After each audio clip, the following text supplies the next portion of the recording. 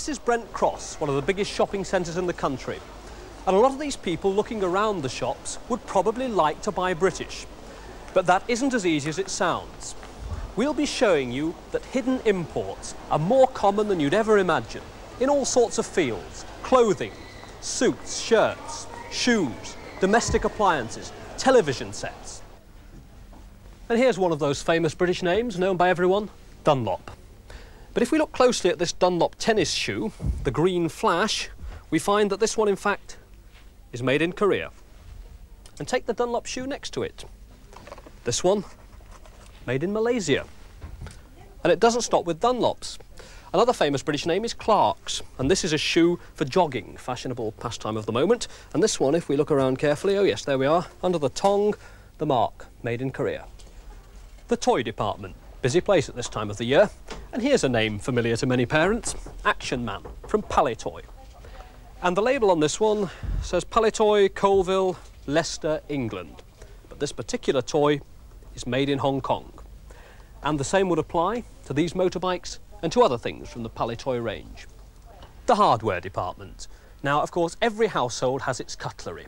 And here's a famous British name, one we all know, Viners of Sheffield. But let's look at one of their sets a bit more closely. Viners Profile. That's made in Korea or Hong Kong. And if we look at the next set, Viners Executive Suite, again, read the small print, Hong Kong or Korea. And the only contact that these knives, forks and spoons have had with Sheffield is that that's where they were put in the box. Last year we spent £26 billion on manufactured imports. But how much of this was run up by people who thought they were buying British?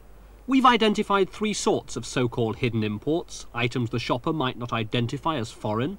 First, there are those brought in to be sold under famous British brand names, but manufactured abroad. Second, there's the import that'll appear in the shops without any marking to show where it was made. And third, articles that are marked Made in Britain, but which contain a large proportion of imported components and have been merely assembled or finished in this country. So what does all this mean? Well, union leaders have claimed for years that imported goods in our shops destroy British jobs. And we found many skilled workers who told us that hidden imports had indeed cost them their jobs. Take Madge Edwards. She used to make British shoes. Now she's unemployed. Then there's Jeff Draper. He made British televisions. Now out of work, he's gone back to studying. Ernie Hardy was a skilled grinder, making British knives and forks. Now he does a dreary, unskilled job. And Sylvia Johns used to make British suits, but now she too is doing unskilled work. Madge Edwards worked in a factory in Leicestershire making boots like these. It closed last Christmas, and since then she's been out of work. Madge had been in the industry for 30 years. When she started, virtually all of us wore British shoes. Now 50% of the footwear sold in this country is foreign. She feels that the importing of shoe components, soles and uppers, to be made up here into shoes marked Made in Britain may have cost her her job. Madge says that the problem for the shopper who wants to buy British is that it's virtually impossible to spot this hidden import. Any of these that you can see obviously got foreign parts in? Well, no, that looks very British to me. It looks all British. A good leather shoe, all made in England, yes.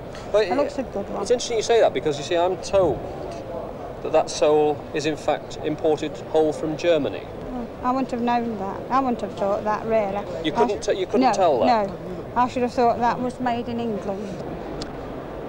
Well, Madge, here we've got some shoes in the Jane White range, ladies' shoes. What about those up there? What do you think of those? one? This one is from Taiwan, brought into this uh, country again. I suppose that's why they import them in, because they're so much cheaper to import them in. Is, is, it, is it fair, do you think, to, to market foreign shoes under the Jane White label? No, no, I don't think so. I think it's giving people false images. What, that they might think it was a British yes, shoe? Yes, you think it's a British shoe and then they realise that it's made abroad. But on another stand at this British shoe fair, we found this elegant little item which surely anyone would think was made in Britain. What about this this man's shoe, which is um, which has got a Union Jack on it? Now, yes. where, where would that be made actually? That's made in Spain. Even though it's got a Union Jack Even on though it? it's got a Union Jack on it, yes. It's an interesting point that most of our customers um, ask for that to be removed before we deliver. Why, why do they do that, do you think?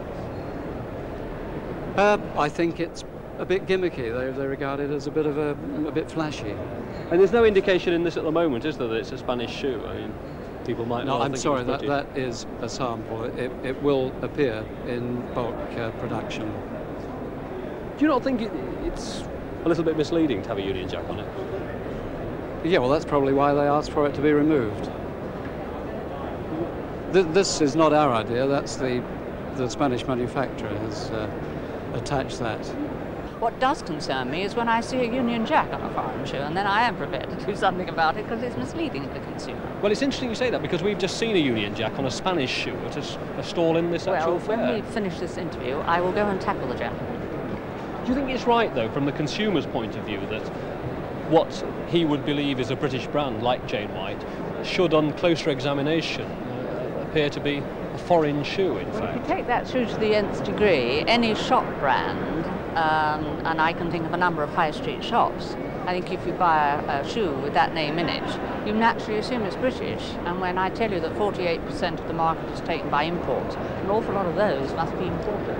What are your views as a whole on the effectiveness of the present regulations concerning marking of countries of origin? Do you think that they're satisfactory? Well, I would like them widened, of course. I think it would be much better if all footwear was marked with the country of origin. But um, no government has seen fit to think that's necessary in the consumer's interest. And I think probably, as I said earlier, often the consumer doesn't care, much as I would like to see buy British, you know, written large. But um, I don't think the average consumer minds. If the product's right, they'll buy it. Jeff Draper was one of 2,000 people there who lost his job. After a fruitless search for skilled work, he turned his back on industry to take a degree at Bradford University. But every worker's also a consumer, and surprisingly, we found that Jeff, although he'd lost his own job, wasn't prepared to buy British to defend the jobs of others. Do you yourself try to buy British? No, I, I think like everybody else, um, I try and buy whatever's the best value. Uh, you know, the, the price that is right, the quality that I, that I expect. I think if I've got the choice between a, a good Portuguese shirt or a, and a good British shirt, I'll get whichever, whichever I prefer um, at, the, at the price that I can afford. 30 years ago, almost everyone used British knives, forks and spoons. But gradually, the traditional Sheffield cutlery on Britain's dining tables has been replaced by cheaper imports. In stainless steel, they now take 90% of the market. Of course, there are still British cutlery manufacturers, and this is one of the most famous, Viners in Sheffield. Here, traditional skills survive. But upstairs in the packing department, we discovered that the cutlery being put in these canteens comes not only from the workshops downstairs, but also from Taiwan, Korea and Hong Kong. It's all being sold under the Viner's name. What would you say if someone, if a consumer said to you, I bought a Viner's knife, and when I got it home, I found it wasn't made in Britain, it was made in Korea, and I feel cheated by that? Well, they couldn't, because it would say Korea on it. In much smaller letters, though. It's something you might well not notice till you get home, isn't it? I don't agree with this. I think this is a, a, an unfair allegation. Uh, and if you care to look round this showroom and look at the products, the word Hong Kong or Korea or Japan is just as prominent as Sheffield, England on those products that are made here. And it's also on the pack just as prominently. We always put Viners more prominently than anything else because that is what we are selling. We are selling Viners. But it's up to the consumer to, in fact, look and read. Which is no excuse uh, in law to have signed a contract and not to have read the small print at the back. That was the first thing I was taught at school. Even more confusing for the consumer is that if a company imports knives and forks and then puts them through a process like plating, they're perfectly entitled under existing law to mark them made in Britain. Isn't there a danger that actually you're acting as a Trojan horse for hidden imports? Because people are prepared to buy products that carry the Viner's name, whereas if they didn't carry the Viner's name, they might be less willing to buy them. I'm very pleased to hear that this is the case. I would hope that this is right. But, uh, But, it, but if that is the case, then, then by stamping imported goods viners, you are actually enhancing their sales in this market, aren't you? Yes, but why not? The current marking legislation is totally wrong for the reasons we were mentioning earlier, namely that stuff can come in totally unmarked or carry an, a mark like silver-plated stainless steel, which is Brit in British, which is in English, and yet, in fact, is maybe made in the Far East or made in India or made in communist China or what have you. So that in itself is totally misleading so far as the public is concerned, and that is the way in which well over 50% of this merchandise comes into the UK. It's perhaps ironic that Brian Viner has been leading a lobby of cutlery manufacturers based here in Sheffield who are demanding government action against imports. For 20,000 workers in the cutlery industry, though, such action comes too late. One man who lost a skilled job was Ernie Hardy. I spent all those years training for my job, uh, just for it to be wasted. All them 12, 13 years wasted. Instead of being a foreman and a man on his way up, I'm now putting things into boxes and boxes into boxes. It's an incredible waste. And I feel a little bitter. We're going to be a nation of shopkeepers because we can't use these skills that we've spent these years attaining. This Leeds factory was once the centre of a great clothing empire. Montague Burton was a household name in menswear, with shops in almost every high street selling British suits.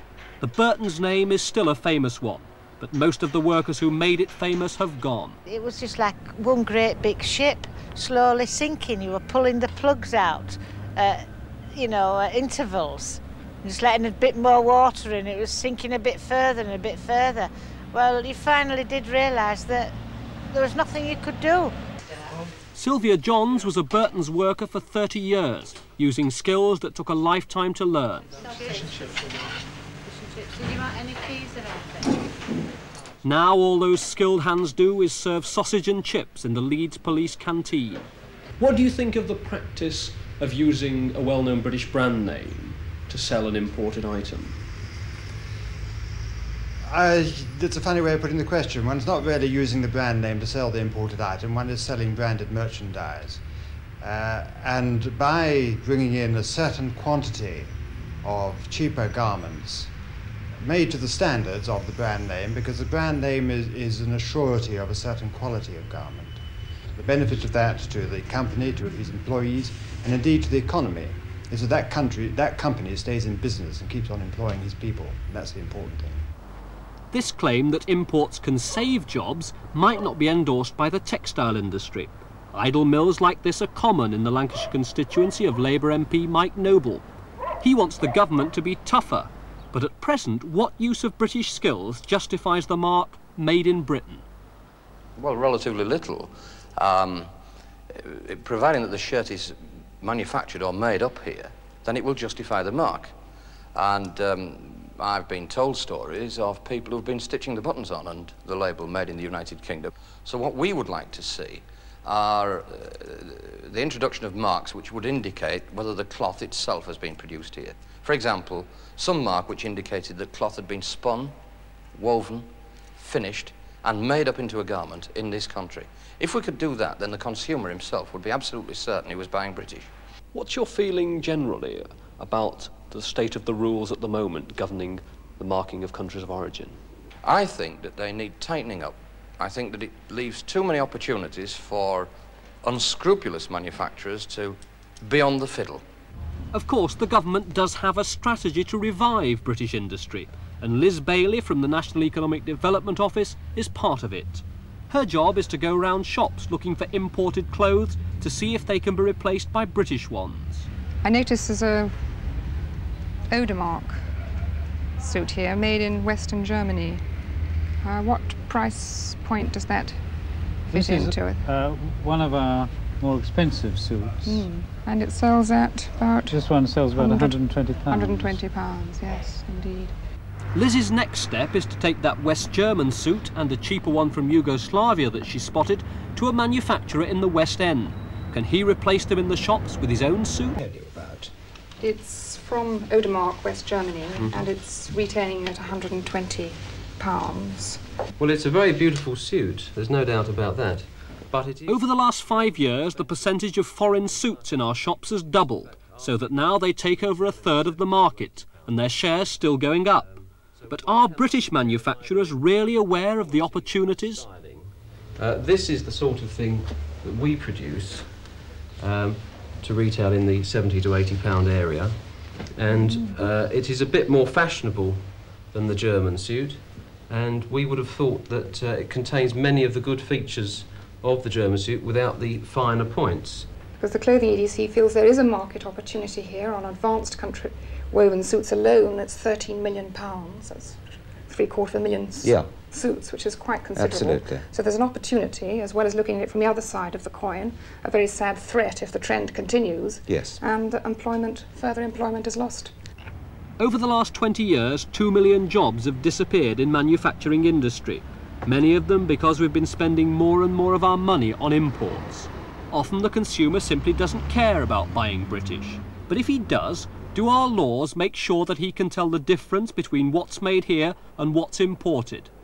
Um, the, there's a 1972 Act which says that if goods are sold under a, a British name, that's shorthand, um, and many trade names are registered in Britain, then there ought to be a conspicuous, and that's an important word, a conspicuous indication of the country of origin if it's not Great Britain. Apart from the consumer, do you think it's fair on other manufacturers who don't bring in imports that some British manufacturers should be allowed to bring them in and market them under British brand names? Well, you say, are they being fair? I mean, that's a matter for their, that's a matter for their judgment.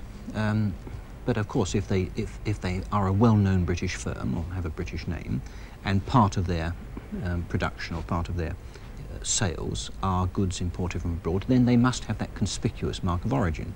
Are you happy that the laws are being adequately policed at the moment?